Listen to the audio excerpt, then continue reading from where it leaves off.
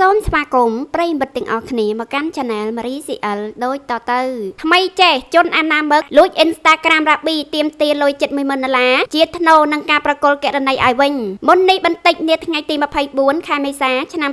2023តារាចម្រៀងម្ចាស់បទល្បីមនស្រែកញ្ញារ៉ាប៊ីបានចេញមកប្រកាសថាករណីរបស់ខ្លួនត្រូវបានជនអាណាមឹកលួចយកទៅកាន់កាប់បានដោយជោគជ័យព្រមទាំងទាមទារលុយចំនួន25លានរៀលជាថ្នូរនឹងការប្រកល់ករណី Instagram ឲ្យកញ្ញាវិញកាលពី18ម៉ោងមុនរ៉ាប៊ីបានចេញមកត្អូញត្អែតាក់ទងនឹងការបាត់បង់ករណី IG របស់ខ្លួនរយៈពេល71ខែហើយបាត់ទោះជាកញ្ញាព្យាយាមទំនាក់ទំនងយ៉ាងណាក៏មិនមានការឆ្លើយតបត្រឡប់ពីអ្នកដែលលួចករណី Instagram កញ្ញានោះទេ ក្នុងនោះកញ្ញាបានរៀបរាប់យ៉ាងដូចនេះថាគេលួច IG ទៅ71ខែហើយដៃណាស់ឆាតសុំគេវិញ គេធ្វើប្រងើយមិនឆ្លើយជាមួយយើងយ៉ាងណាមិញនៅថ្ងៃនេះស្រាប់តែមានការបញ្ជាក់ដោយផ្ទាល់ពីសម័យខ្លួនរ៉ាប៊ីថាអ្នកលួចករណីរបស់កញ្ញាបានដាច់ចិត្តឆ្លើយតបមកកាន់កញ្ញាហើយប៉ុន្តែជនអាណាមឹកបានទាមទារឲ្យកញ្ញាប្រគល់ប្រាក់ចំនួន25លានរៀលឬប្រមាណ6000ដុល្លារប្រសិនបើកញ្ញាចង់បាន account Instagram ទៅគ្រប់គ្រងវិញ